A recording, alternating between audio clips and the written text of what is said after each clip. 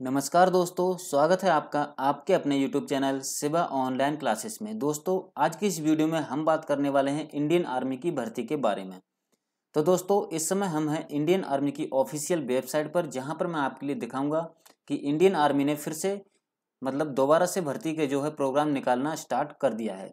तो दोस्तों, अगर हम नीचे स्क्रॉल करके आएँ तो आप सबसे पहले देखेंगे कि लेटेस्ट में army recruiting rally at captain Sundar Singh stadium. तो इसको दोस्तों हम क्या करते हैं? इसको हम अभी कर लेंगे ओपन तो इसको अगर हम ओपन करेंगे, इस पार्ट के लिए आप देख सकते हैं जो कि 15 सितंबर से 24 सितंबर 2020 के बीच में हेल्ड होनी है, ठीक है? तो दोस्तों, इसको हम डाउनलोड कर लेते हैं और देखते हैं कि इसमें क्या क्या इन्फॉर्मेशन दी हुई है किस किस ट्रेड के लिए भर्ती होनी है, ठीक है? तो यह है दोस्तों इंडियन आर्मी का ऑफिशियल नोटिस जो कि मैंने डाउनलोड कर लिया है आप सभी के सामने ही। तो यहाँ पर पूरी डिटेल में इस वीडियो में आपको बताने वाला हूँ। वीडियो छोड़कर कहीं ना जाएँ। अगर वीडियो पसंद आए तो वीडियो को लाइक करें और हमारे YouTube channel Shiva online classes को सब्सक्राइब ज़रूर करें। तो दोस्तों, ये जो भर्ती है वो 15 सितंबर से 24 सितंबर 2020 के बीच में होनी है और इसके जो ऑनलाइन रजिस्ट्रेशन है वो यानी कि 17 जुलाई 2020 से 30 अगस्त 2020 के बीच में होने हैं। ठीक है तो 17 जुलाई से 30 अगस्त तक आप ऑनलाइन रजिस्ट्रेशन करेंगे। उसके बाद में आपकी जो भर्ती होगी वो 15 सितंबर 2020 से 24 सितंबर 2020 के बीच में होनी है, ठीक है? तो दोस्तों, आप देख सकते हैं यहाँ पर कौन कौन सी ट्रेड्स के लिए भर्ती की जाएगी। तो मैं आपके लिए एक एक ट्रेड की पूरी जानकारी देने वाला हूँ। आपकी एजुकेशन क्वालिफिकेशन, फ़िज़िकल मेज़रमेंट और जो भी आपकी पीएफटी जिसको बोलते हैं, फ़िज़िकल फिटनेस टेस्ट, पूरी की जानकारी मैं आपको इस वीडियो में देने वाला हूँ। तो सबसे पहले दोस्तों, यहाँ पर भर्ती किस किस पोस्ट पे बात कर लेते हैं। यहाँ पर सोल्जर जनरल ड्यूटी, उसके बाद में सोल्जर टेक्निकल, उसके बाद में नर्सिंग असिस्टेंट और दोस्तों यहाँ पर जो भर्ती है, नेक्स्ट भर्ती है वो soldier clerk public store keeper की, ठीक है? तो इन पदों के लिए यहाँ पर भर्ती निकली हुई है इंडियन आर्मी की तरफ़ से। तो हम सबसे पहले बात करते हैं दोस्तों सोल्जर जनरल ड्यूटी की। तो सोल्जर जनरल ड्यूटी की अगर आप भर्ती देखेंगे तो आपके लिए जो एज लिमिट होगी आपकी वो सत्रह से इक्कीस साल के बीच में होनी चाहिए मतलब सत्रह पॉइंट सिक्स मंथ, यानी कि साढ़े सत्रह साल से इक्कीस साल के बीच में आपकी एज होनी चाहिए। और आपका जो हाइट है वो 170 सेंटीमीटर, वेट आपका 50 सेंटीमीटर 50 केजी, और आपका जो चेस्ट है वो 77 सेंटीमीटर होना चाहिए। इस भर्ती में आपको अप्लाई करने के लिए दोस्तों क्लास टेंथ पास होना चाहिए। आपके किसी भी सब्जेक्ट में 45 परसेंट मार्क्स से कम नहीं होना चाहिए। सॉरी, तैंतीस परसेंट मार्क्स से कम नहीं होना चाहिए। किसी भी सब्जेक्ट में सिंगल सब्जेक्ट में और आपकी जो ओवरऑल परसेंटेज होनी चाहिए, वो फोर्टी फाइव परसेंटेज होना चाहिए, ठीक है? उसके बाद में सोल्जर टेक्निकल की बात करें तो एज लिमिट इसकी दोस्तों दो साल जीडी से ज़्यादा है यहाँ पर, साढ़े सत्रह से तेईस साल तक अगर आपकी एज है तो आप इस भर्ती में अप्लाई कर सकते हैं। हाइट आपकी 170 सेंटीमीटर वेट 50 केजी और चेस्ट आपका 77 सेंटीमीटर होना अनिवार्य है। यहाँ पर दोस्तों अगर एजुकेशन क्यू की हम बात करें तो आपको टेन प्लस टू पास होना ज़रूरी है। साइंस विद फिजिक्स, केमिस्ट्री और मैथ से। अगर आपके पास में फिजिक्स, केमिस्ट्री और मैथ है, तभी आप इस भर्ती में अप्लाई कर पाएँगे।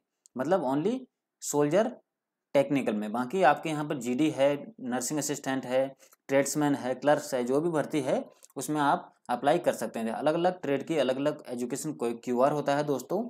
तो आपको सोल्जर टेक्निकल में भर्ती होने के लिए फिजिक्स, केमिस्ट्री, मैथ होना चाहिए आपके पास में ट्वेल्थ में और आपके ओवरऑल जो परसेंटेज है वो फिफ्टी परसेंट और किसी भी सब्जेक्ट में सिंगल सब्जेक्ट में फोर्टी परसेंट मार्क्स से कम नहीं होना चाहिए। उसके बाद में हम दोस्तों नीचे बात कर लेते हैं और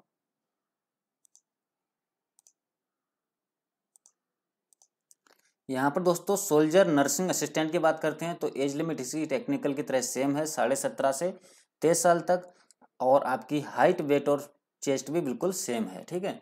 उसके बाद में दोस्तों आपको इस भर्ती में अप्लाई करने के लिए ट्वेल्व टेन प्लस टू यानी कि ट्वेल्थ पास होना ज़रूरी है और आपके पास में दोस्तों फिजिक्स केमिस्ट्री और बायोलॉजी एंड इंग्लिश ये चार सब्जेक्ट होना अनिवार्य है। किसी भी सब्जेक्ट में आपके पास में पचास परसेंट मार्क्स से कम नहीं होना चाहिए और टोटल जो आपके परसेंट है वो पचास परसेंट होना चाहिए और आपकी जो किसी भी सिंगल सब्जेक्ट में चालीस परसेंट मार्क्स से कम नहीं होना चाहिए।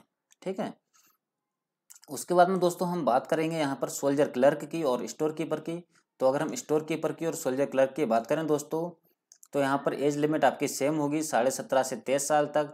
लेकिन यहाँ पर हाइट में बहुत बड़ा फ़ायदा मिलने वाला है क्लर्क्स के लिए। तो यहाँ पर दोस्तों जो हाइट होगी आपकी, वो वन सिक्सटी टू सेंटीमीटर होगी और आपके जो वेट होगा और चेस्ट होगा वो सेम होगा। मतलब वेट पचास के और चेस्ट सतहत्तर सेंटीमीटर।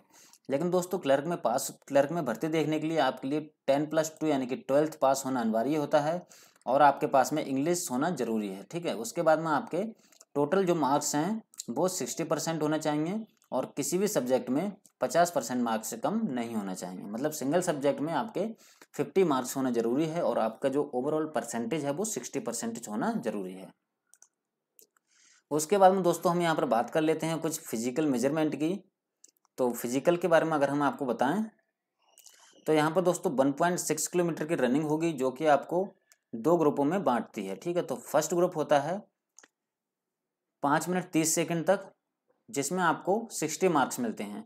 अगर आप अपनी रेस को वन पॉइंट सिक्स किलोमीटर की रेस को आप पाँच मिनट तीस सेकेंड या उससे पहले पास कर लेते हैं तो आपको सिक्सटी मार्क्स मिलते हैं। और आप वही रेस अगर पाँच मिनट इकतीस सेकेंड से पाँच मिनट पैंतालीस सेकंड के बीच में अगर आप पास करते हैं तो आपको मिलते हैं फोर्टी एट मार्क्स, ठीक है?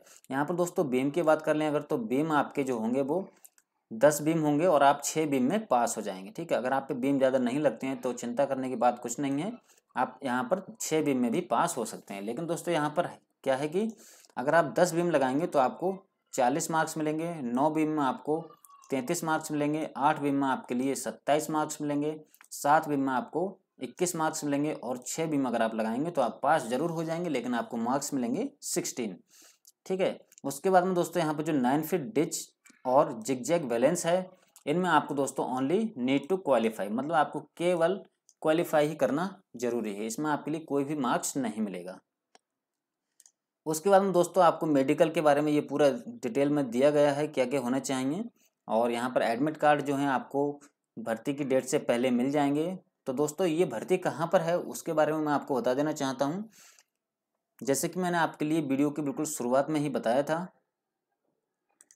कि दोस्तों, ये जो भर्ती है वो captain captain Sundar Singh stadium के स्टेडियम में है, जो कि 15 सितंबर से 24 सितंबर 2020 तक चलेगी। ऑनलाइन अप्लाई इसकी 17 जुलाई से 30 जून दो, तीस अगस्त 2020 तक रहेगी।